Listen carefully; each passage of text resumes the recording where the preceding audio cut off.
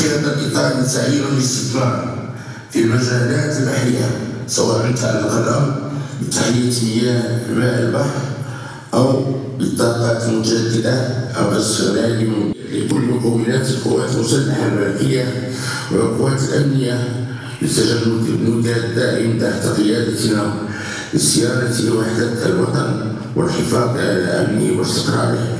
والسلام عليكم ورحمة الله.